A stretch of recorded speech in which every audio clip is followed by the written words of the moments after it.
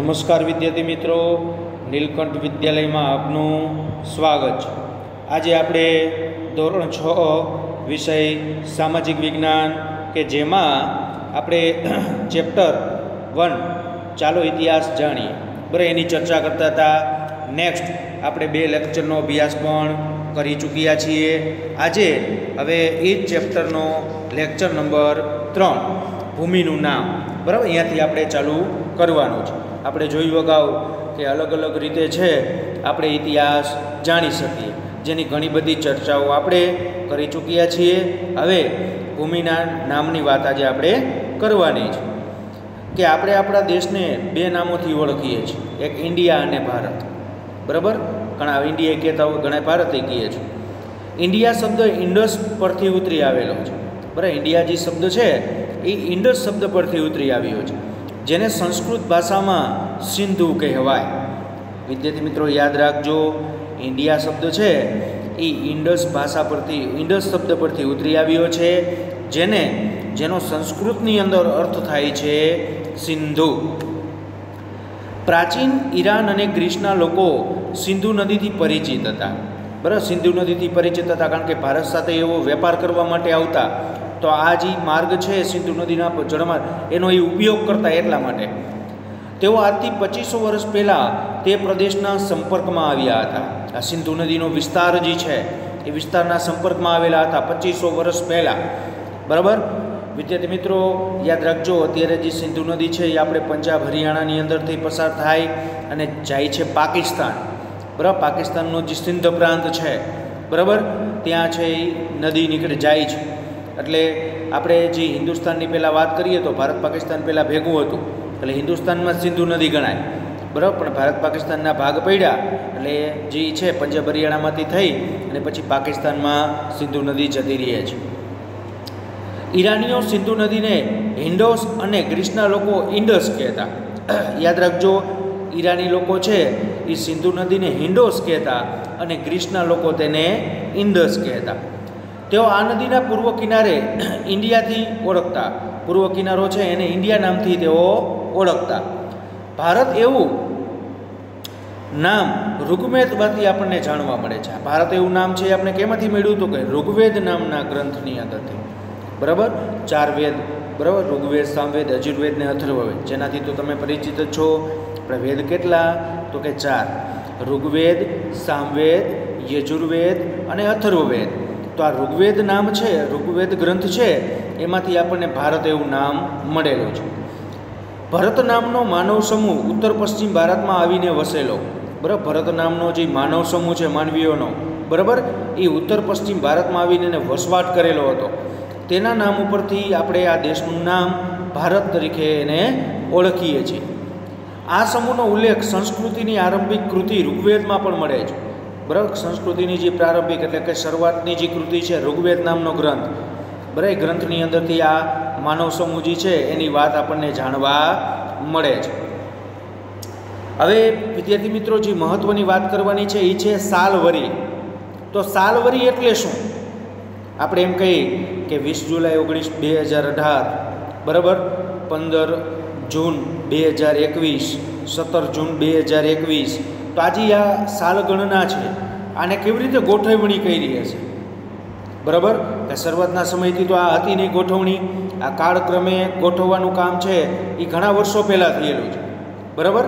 તો આ કેવી રીતે ગોઠવવાની શરૂઆત થઈ? પહેલાં કેવી રીતે કહેવામાં આવતું હતું? બરાબર, એના વિશેની વાત આપણે આમાં કરવાની છે. તો આમાં ભગવાન ઈસુ, બરાબર, ઈસુ ખ્રિસ્તનો જે જન્મ છે, બરાબર? અહીંયાથી પછી ઈસુ ખ્રિસ્તનો જે જન્મ થયો ને બરાબર અહીંયાથી અત્યારનો જે સમય છે એ આપણે ઈસવીસન તરીકે ઓળખીએ. બરાબર ઈસવીસન બે હજાર અઢાર, ઈસવીસન બે હજાર એકવીસ, ઈસવીસન બે હજાર એક, ઈસવીસન બે હજાર દસ, બરાબર? આવી રીતે આપણે ઓળખીએ છીએ. પરંતુ ઈસુ ખ્રિસ્તના જમય જન્મ પહેલાંનો જે સમય હતો, એને આપણે ઈસવીસન પૂર્વે વાત કરવાની. બરાબર યાદ રાખજો વિદ્યાર્થી મિત્રો, કે ઈસુ ખ્રિસ્તના જન્મ સમય પહેલાંનો જે સમય છે, એને આપણે ઈસવીસન પૂર્વે કહીશું. બરાબર? એવી વાત છે આમાં. જોઈએ, વિગતે સમજીએ એટલે આરામથી સમજાઈ જશે. ઇતિહાસના સમયમાં, ઇતિહાસમાં સમયનું ખૂબ જ મહત્ત્વ છે. કારણ કે તો જ ઘટના કાળક્રમે ગોઠવી શકી ને. આપણે એવું કહી શકીએ કે ભાઈ, બે હજાર વીસની અંદર છે એ કોરોના મહામારી આવી. બરાબર? જો આપણી પાસે સાલ જ ન હોત, કોઈ ગોઠવણી જ ન હોત, તો આપણે કેવી રીતે કહી શકીએ કે બે હજાર વીસમાં છે એ કોરોના આવ્યો? બરાબર? એક્ઝામ્પલ તરીકે. બરાબર? હવે કદાચ આપણને ખબર છે કે હાલો ગયા વર્ષે આવ્યું, એવું કહી દે. બરાબર? તો આગળની જે પેઢી છે આવનારી, એને કેવી રીતે ખબર પડે કે બે હજાર વીસની અંદર છે એ કોરોના નામની એક મહામારી આવી હતી? બરાબર? બે હજાર વીસની સાલ જ કોઈ ન હોત તો એવું એ કહી શકે આજથી પાંચ બે પાંચ, બે ત્રણ વર્ષ પહેલાં એ અંદાજિત કાંઈ ચાલે નહીં. તો આ અત્યારે ઘટનાઓ ગોઠવાય. બરાબર? તો જ આપણે ઇતિહાસ છે ને એ બને. બરાબર? જો કોઈ ગણના ન થતી હોય, ગોઠવણી ન થતી હોય તો ઇતિહાસ બને. નહીં. ઘટનાઓ સમય અને સ્થાનની સાથે જ લખી શકાય. બરાબર કઈ સ્થાને ઘટના બની બરાબર ને કયા સમયે બની તો જ આપણે ઇતિહાસની અંદર એને ઘટના અંકિત લખી શકી નકલ લખી શકી નહીં. દાખલા તરીકે આપણે એવું કહીએ બે હજાર એકની અંદર ગુજરાતની અંદર ભૂકંપ આવ્યો તો સ્થળે એવું ગુજરાત. બરાબર ને સાલે એવી બે હજાર એક. બરાબર એનું કેન્દ્ર બિંદુ છે એ કચ્છ હતું. તો એનું કેન્દ્ર બિંદુ છે એ કચ્છ હતું. તો એ નામ છે એટલે આપણે કચ્છ લખી શક્યા ને? નકર એવું કહી શકીએ બે હજાર બે હજાર સાલ ન હોય તો ઘણા વર્ષો પહેલાં ભૂકંપ આવ્યો હતો એ એક રાજ્ય એવું હતું, એક રાજ્ય એવું હતું, એમાં ભૂકંપ આવ્યો હતો. તો કેની ગણના થાય? કયા રાજ્યમાં ભૂકંપ આવ્યો હતો? તો કોઈ પણ કાળક્રમે ઘટના આપણે ગોઠવી શકીએ નહીં. આપણે સમયને તારીખ, માસ અને વર્ષ સાથે સાંકળીને સમજીએ છીએ. કોઈ પણ સમય હોય ને તારીખ સાથે, બરાબર, માસ સાથે અને વર્ષ સાથે. બરાબર, તારીખ છે એ સત્તર બરાબર? સત્તર પછી તરત માસ આપણે કહીએ સત્તર જૂન બે હજાર એકવીસ. તો સત્તર એ તારીખ, બરાબર? જૂન એટલે માસ અને બે હજાર એકવીસ એટલે સાલ. આવી રીતે કોઈ ઘટના હોય તો જ આપણે એને ગોઠવી શકીએ. બરાબર? જેમ કે વીસ જુલાઈ બે હજાર અઢાર શુક્રવાર, આ પ્રમાણે સમયની ગોઠવણી ઈસવી ઈસુ ખ્રિસ્તના જન્મ સાથે સંકળાયેલી છે. ઈસુ ખ્રિસ્તનો જન્મ થયો, ત્યારબાદ છે આ ઘટનાઓ આ રીતે આપણે ગોઠવતા થયા. ખ્રિસ્તી ધર્મના સ્થાપક ઈસુ ખ્રિસ્તના જન્મને દુનિયામાં કાળગણના સાથે જોડાયેલો ગણવામાં આવે છે. કાળગણના. કે આ જે કાંઈ ઘટનાઓ છે એ આપણે કાળક્રમે ગોઠવી છે કે આટલા વર્ષો પહેલાં આવું બન્યું તો આવું બન્યું તે કાળગણના કહેવાય. આ ગોઠવણીની શરૂઆત છે ઈસુ ખ્રિસ્તના જન્મ પછી થઈ. આપણે ઈસવીસન એમ કહીએ છીએ. બરાબર? ઈસુ ખ્રિસ્તનો જન્મ થયો ત્યારબાદ આપણે ઈસવીસન કહીએ. અંગ્રેજીમાં એડી એનો ડોમી ડોમિની. બરાબર, એટલે કે ઈસુ ખ્રિસ્તના જન્મ પછીના વર્ષો એમ કહેવાય. ઈસવીસન એટલે ઈસુ ખ્રિસ્તના જન્મ પછીના વર્ષો, જેને ઈસવીસન તરીકે આપણે ઓળખીએ છીએ. ઈસવીસન ઓગણીસો નેવું, એકાણું, ઈસવીસન ઓગણીસો બાણું, ઈસવીસન બે હજાર એક, ઈસવીસન બે હજાર એકવીસ, બરાબર આ રીતે. ઉદાહરણ તરીકે બે હજાર એટલે ઈસુ ખ્રિસ્તના જન્મ પછીનો બે હજાર વર્ષનો સમય. બરાબર? એ જ રીતે દાખલા તરીકે ઈસુ ખ્રિસ્તનો જન્મ થયો ત્યારે પહેલું વર્ષ. બરાબર એ વર્ષે પછી બીજું વર્ષ, ત્રીજું વર્ષ, ચોથું, પાંચમું, છઠ્ઠું, સાતમું, આઠમું, નવમું, દસમું એક હજારમું વર્ષ ઈસવીસન અત્યારે બે હજાર આવી ગઈ. તો બે હજારમું વર્ષ, પછી બે હજાર દસ આવી બે હજાર એકવીસ. એટલે ઈસુ ખ્રિસ્તના જન્મ પછીના બે હજાર ને એકવીસ વર્ષ. આવું કહી શકાય. પછી બે હજાર બાવીસ આવે એટલે ઈસુ ખ્રિસ્તના જન્મ પછીના બે હજાર ને બાવીસ વર્ષ. તેવી આવે એટલે બે હજાર ત્રેવીસ વર્ષ. બરાબર, આ રીતે. એટલે એકથી શરૂઆત થઈ હોય વિદ્યાર્થી મિત્રો. એ જ રીતે ઈસવીસન પૂર્વે બીસી બિફોર ક્રાઇસ્ટ એટલે કે ઈસુ ખ્રિસ્તના જન્મ પહેલાંનો સમય. ઉદાહરણ તરીકે, ઈસવીસન પૂર્વે. અત્યારે આપણે પૂર્વે નથી લખતા વિદ્યાર્થી મિત્રો, ખાલી ઈસવીસન લખી છે. બરાબર? ખાલી ઈસવીસન લખી છે એટલે એનો મતલબ એવો થયો કે ઈસુ ખ્રિસ્તના જન્મ પછીનો સમય. અને ઈસવીસન પૂર્વે લખી તો ઈસુ ખ્રિસ્તના જન્મ પહેલાંનો સમય. બરાબર? દાખલા તરીકે આમાં આપણે જોઈ શકીએ છીએ વિદ્યાર્થી મિત્રો કે અહીંયા આપણે પૂર્વ લખેલું છે. જોજો.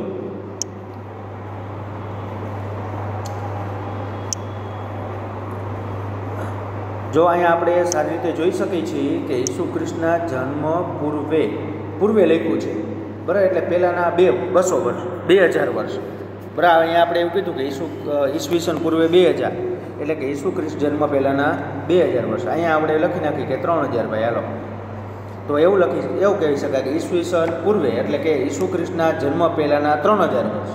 બરાબર? આ રીતે. હવે આપણે નીચે સારી રીતે એમાં સમજ મળશે. બરાબર? જોઈ શકીએ આપણે. આમાં કહેવાનું એવું માગે, જો આપણે વાત હજી હમણાં તમને કહી કે આ જીરો વર્ષ કીધા, બરાબર? એટલે આ શું થયું તો કે ઈસુ ખ્રિસ્તનો જન્મ છે, બરાબર? તો જન્મ પે, જન્મ પહેલાં, પહેલી સદી. સદી એટલે યાદ રાખવાનું, વિદ્યાર્થી મિત્રો, સો વર્ષ. એક સદી એટલે કેટલા વર્ષ થાય? સો વર્ષ. બે સદી એટલે બસો. ત્રણ સદી એટલે ત્રણસો. ચોથી સદી એટલે ચારસો. પાંચમી સદી એટલે પાંચસો. બરાબર? સદી એટલે સો વર્ષ. પછી એમાં બીજી હોય તો? બસો કહેવાય, ત્રીજી હોય તો ત્રણસો, ચોથી હોય તો ચારસો, પાંચમી હોય તો પાંચસો. બરાબર? હવે અહીંયા આપણે જોવા મળે છે કે ઈસવીસન પૂર્વે, બરાબર? જેને યાદ રાખવાનું, ઈસવીસન પૂર્વે છે ને બીસી કહેવાય. અને ઈસવીસન પછી છે એને એડી કહેવાય. બરાબર? બે શબ્દ યાદ રાખવાના છે ખાસ. ઈસવીસન પૂર્વે એટલે બીસી ઈસવીસન પછી એટલે કે એડી હવે ઈસુ ખ્રિસ્તનો જન્મ છે એની પહેલી સદી. એટલે એવું કહેવાય કે ઈસુ ખ્રિસ્તના જન્મ પહેલાંના સો વર્ષ, પછી ઈસુ ખ્રિસ્તની બીજી સદી એટલે બસો વર્ષ, ત્રીજી સદી એટલે ત્રણસો વર્ષ બરાબર ચોથી સદી એટલે ચારસો વર્ષ, પાંચમી સદી એટલે પાંચસો વર્ષ. તો એવું કહી શકાય કે હું તમને એમ કહું કે ઈસવીસન પૂર્વે પાંચમી સદી. તો ઈસુ ખ્રિસ્તના જમય, જન્મ પહેલાં પાંચસો વર્ષ પહેલાંની વાત છે. કારણ કે પાંચમી સદી છે એટલે પાંચસો વર્ષ થયા. બરાબર? હવે આટલું સમજાઈ ગયું. કે ઈસવીસન પૂર્વે કહીએ એટલે જન્મ પહેલાંની વાત અને ઈસવીસન ખાલી કહીએ એટલે જન્મ પછીની વાત. હવે અહીંયા આપણે જોઈ શકીએ છીએ. બરાબર?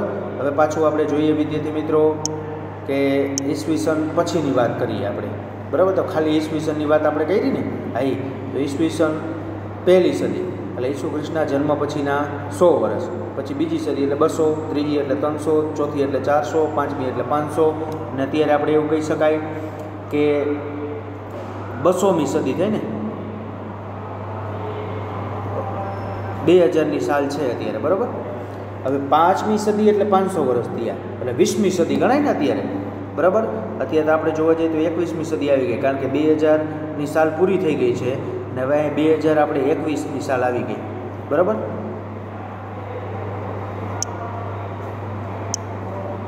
જો, અહીં આપણે જોઈ શકીએ છીએ કે આ પાંચમી સદી છે, પછી અહીંયા આવે છઠ્ઠી, પછી સાતમી, પછી આઠમી, નવ, પછી આવી રીતે આવી રીતે દસ, પછી અહીંયા આવે વીસ, અને અત્યારે આવે છે એકવીસમી. શું કામ એકવીસમી? કારણ કે બે હજારની સાલ તો પૂરી થઈ ગઈ. અત્યારે આવે છે બે હજાર એકવીસ. તો બે હજાર જ્યારે વીસમી સદી આવતી હોય ત્યારે કેટલી, કઈ સાલ હોય? તો કે ફક્ત ખાલી બે હજાર. હવે બે હજાર પ્લસ આપણે વયા ગયા ને એકવીસ આવી એટલે. બરાબર? એટલે વીસમી સદી પૂરી થઈ ગઈ ને અત્યારે કેટલામી સદી ચાલે છે? એકવીસમી. તો આપણે એવું કહી શકાય કે કે ઈસુ ખ્રિસ્તના જન્મ પછીની બે હજારને ત્રેવીસ વર્ષ થયા. બરાબર? બે હજારને દાખલા તરીકે ત્રેવીસમી સાલ હોય. આપણે બે હજાર એકવીસની વાત કરીએ. ચાલો. અત્યારે બે હજાર એકવીસમી સાલ છે. બરાબર? તો આપણે એવું કહી શકાય કે ઈસુ ખ્રિસ્તના જન્મ પછીના બે હજારને એકવીસ વર્ષ થયા આજે. તો સાચી ઘટના ગણાય. શું કામ? કારણ કે ઈસુ ખ્રિસ્તના જન્મ પછીનો સમય કીધો છે. બરાબર? તો અત્યારે એકવીસમી સદી ચાલે છે તો એક સદીના સો વર્ષ. બરાબર? એટલે એકવીસમી સદી ચાલે છે. એટલે તરત જ આપણે કહી શકીએ કે બે હજારને એકવીસ વર્ષ થયા. બરાબર? આજની તારીખે ઈસુ ખ્રિસ્તના જન્મને. બરાબર? એટલે યાદ રાખવાનું, જન્મ પહેલાંનો સમય એટલે ઈસવીસન પૂર્વે, જન્મ પછીનો સમય એટલે ઈસવીસન ખાલી બરાબર? આટલું યાદ આમાંથી રાખવાનું છે. અને આ ઈસુનો જન્મ થયો ત્યારબાદ જ આપણે આ કાળક્રમે ઘટનાઓ છે એ વ્યવસ્થિત ગોઠવતા થઈ ગયા.